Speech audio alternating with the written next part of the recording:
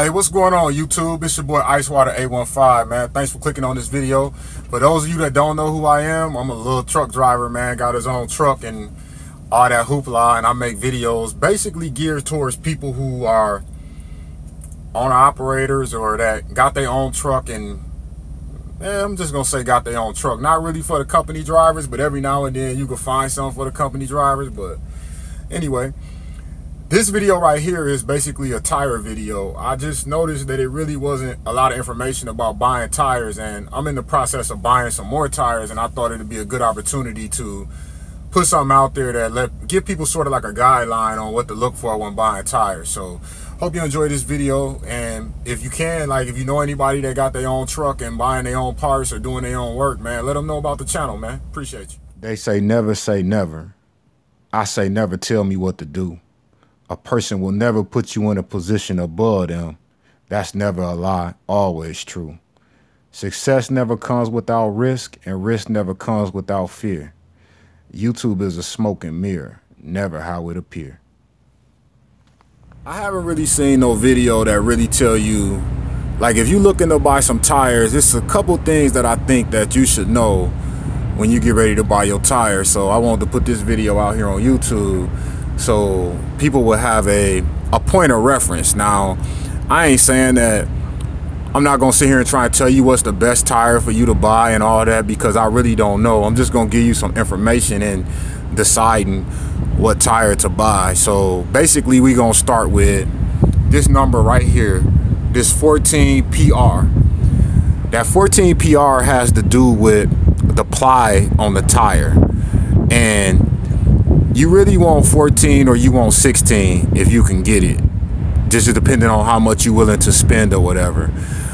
I prefer virgin tires over recaps but some people prefer recaps over virgin. It's really just a personal preference.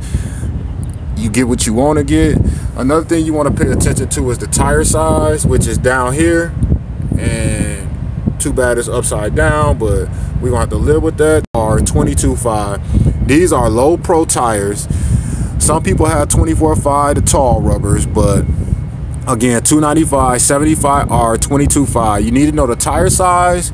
You want to pay attention to how many plies the tire is before you buy it.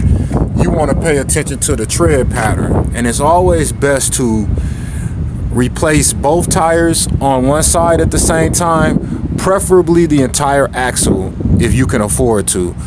And you always want to remember that the tires that's furthest away from the truck wear out first. So on your truck, your third axle is going to wear out before your second axle, before your steer axle. Okay. So let make sure. Oh, and I already talked about the tread pattern, but what I want to say is you want to pay attention to the tread depth also.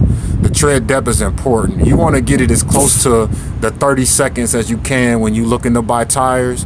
And then one other thing that I think you need to remember when you get ready to buy tires is if you want an open shoulder or a closed shoulder.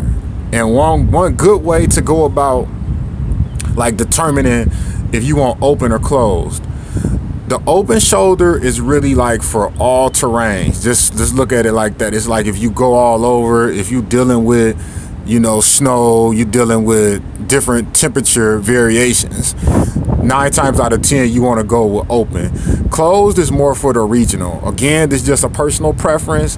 And the difference really is with the open shoulder it doesn't trap the things inside the tires as much as the closed shoulder do. So supposedly you get more traction. Now I don't know, you know what I'm saying? That's just what they say, but again, and I done ran different types of tires, and I think that I done had a lot of luck. This tire is called Ironhead, which I just I bought four of these, and I'm gonna buy four more. I like the way that they ride. I like the tread pattern. Wish they was 16 ply, but they only 14, but I could live with that. I didn't roll Continentals. I got Continentals right here. I didn't roll a lot of different tires and I'm trying to see what ply these 14 ply too I'm trying to see what what different tires I didn't roll the Continentals they weren't too bad but as you can see they getting low. So it's time to replace them. So the three things that I think you should know is you got to know the tread pattern you want to know the tread depth.